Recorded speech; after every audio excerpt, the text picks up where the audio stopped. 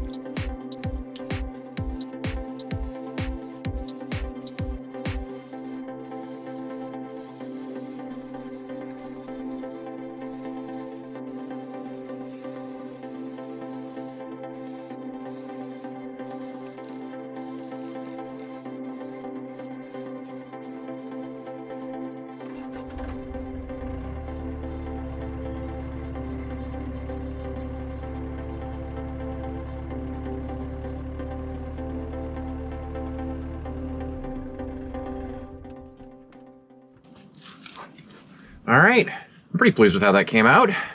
It's about what I was picturing. A little bit of overhang from the bucket teeth to the thumb. Shape looks good. The length looks good. The welds look decent, which is good for me. If you're wondering why blue uh, was on sale. But yeah, that's all there is to this project. Time to put it into use. So up next, something else.